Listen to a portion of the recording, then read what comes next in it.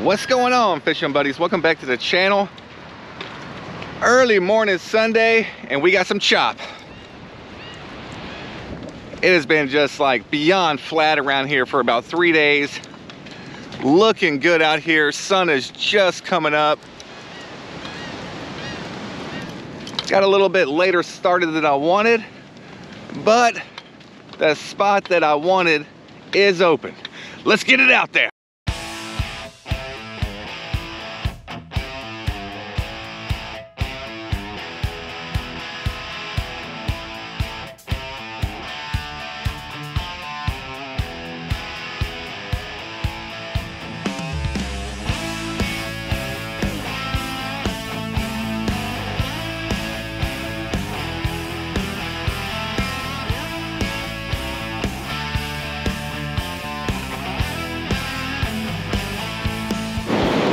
Am gonna go with the sinker guy method on this last rig.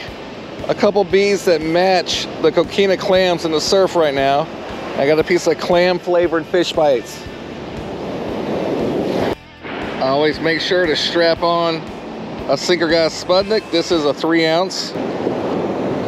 And I will use this magic thread to give my bait a better chance of actually staying on the hook with all the, the rough surf that's going on out there, this fresh dead shrimp will easily pull off.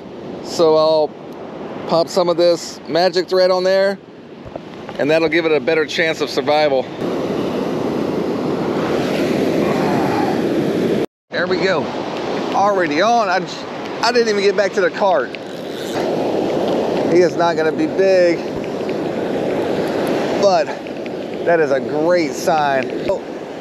First cast, walking back to the cart,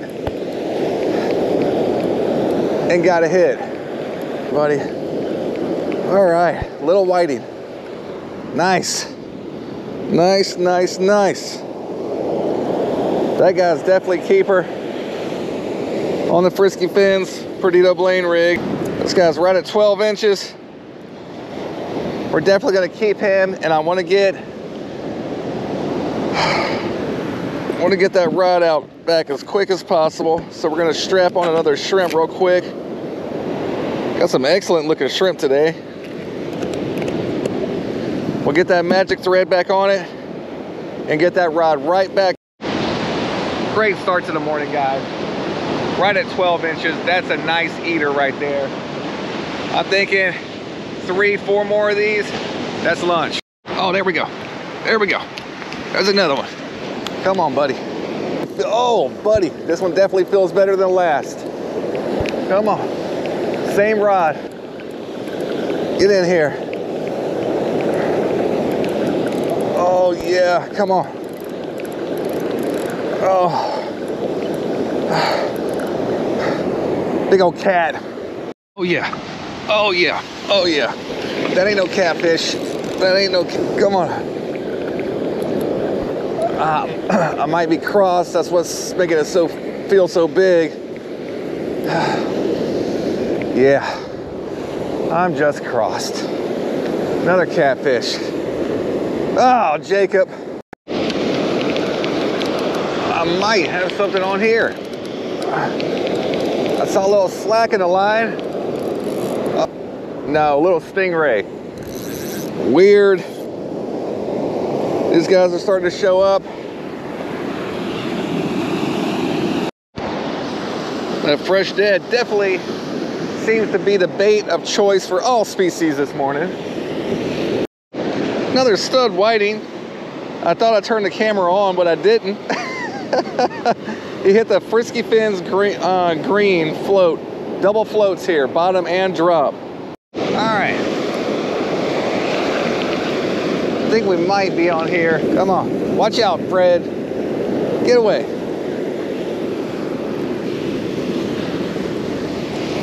Hey, guys. How's the fishing out here? It's picking up, brother.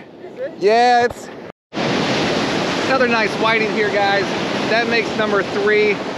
All caught on fresh dead today. So this will be what I'm keeping. I'll keep the three for the family. We'll have a little whiting fish fry today for lunch. Starting to see life out here, y'all. Got some fairly dirty water today, so I've strapped on a K-Pomps big game rig. This is the slider rig, four ounce frog tongue weight, this little piece of cut mullet. I'm gonna throw that out there and see if I can attract a red. So with the rod, I just moved down here, down here by my, my private sign. I'm gonna pull this one up and I'm gonna move that redfish rod down because the current is pushing west and with that frog tongue weight, it doesn't hold as well as these sinkers. So if I throw that redfish rod down here with that weight, that frog tongue weight, it'll push it here because of the current and it won't get tangled in my other lines. All right guys, let's talk about how to navigate these signs. You're gonna see these all over the beach. You got another one up here. What these are doing, they're mainly set up to block beachgoers from kind of setting up camp in front of the condos, um, which is respectable. You know, people pay a lot of money to stay in these condos. They like to have their beach right in front of the condo. Very easy access back and forth. So what these are what these signs are for. They're not necessarily for us fishermen.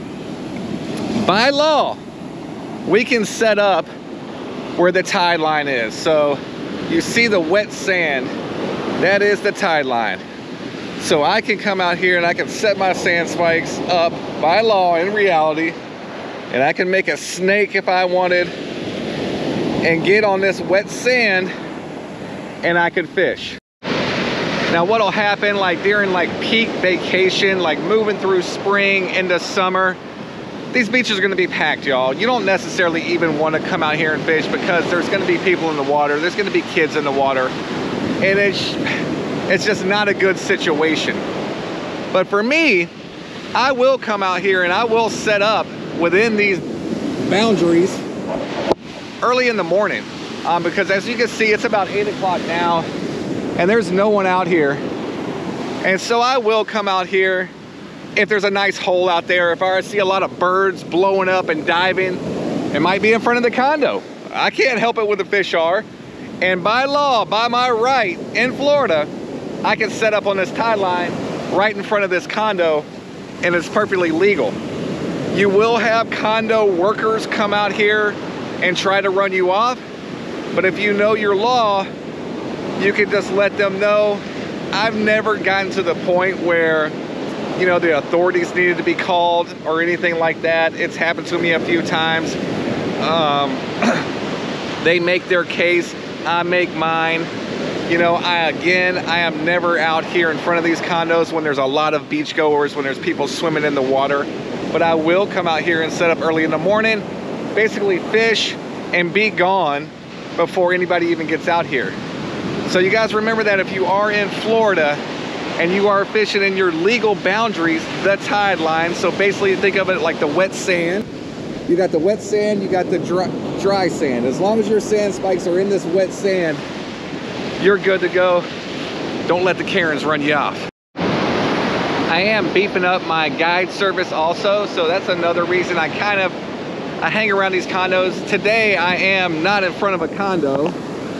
I got a condo to my left and some condos to my right. And this is a good little spot here. And what this does for me, for my business, is it brings the beachgoers down. They see me out here fishing, I can pass out business cards and things like that.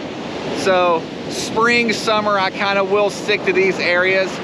Um, probably once or twice a week, I'll get somewhere secluded, especially if the, um, there's been reports of fishing hidden in that area. But I'll stick around here just to kind of promote the business. I have beefed it up a bit. I am gonna start running some overnight kayak camping trips, some catch, clean, and cook in the Perdido area. And I'm gonna be running some sunset kayak tours also. You guys can find all that information on the website, along with the surf fishing guided trips and the kayak fishing guided trips. All right, fishing buddies, getting out of here. Not upset about that at all. Three whiting in the cooler, uh, that little stingray, some catfish. There's life out there, y'all. There's life in the water. There's birds flying and diving. There's beachgoers on the beach. Spring is here. February was horrible around here. About the only thing I could catch was trout and they were out of season. so I was stuck. Um, but great day in shorts, shoes off, toes in the sand again, guys. I am just so looking forward to this season.